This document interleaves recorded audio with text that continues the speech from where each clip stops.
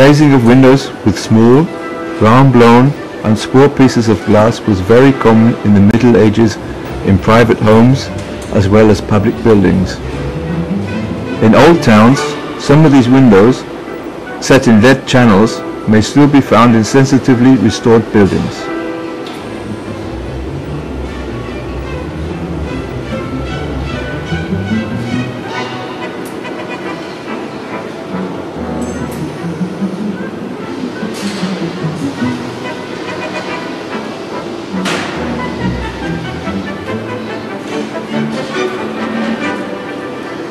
Genuine rondels are produced one by one at Glashütte Lamberts in the traditional mouth-blown method. Every rondel is a unique piece, brilliant and alive, setting it apart from pressed or cast imitations.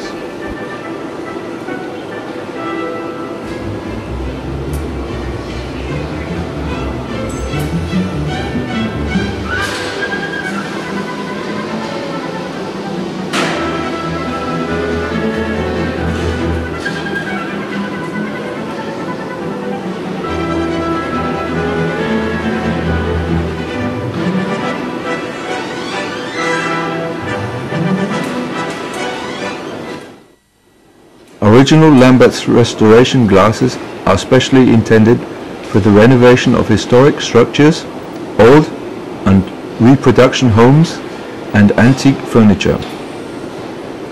Like all glasses from the Glashütte Lamberts, restoration glasses are individually handcrafted in the traditional mouth-blown method.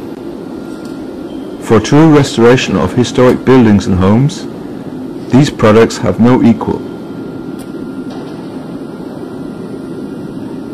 Restoration glasses are mouth-blown like genuine antique glasses.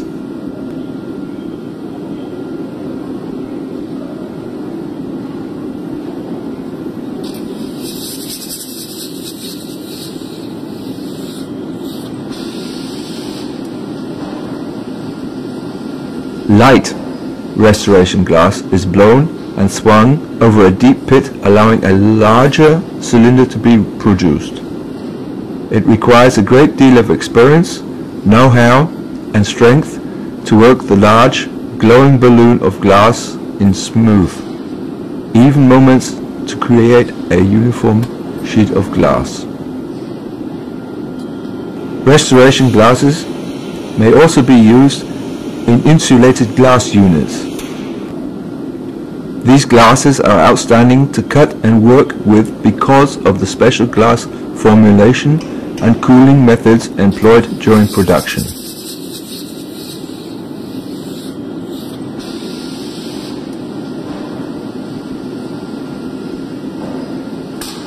It is only possible to give a glimpse of our manufacturing process, as there is much more to be presented and explained.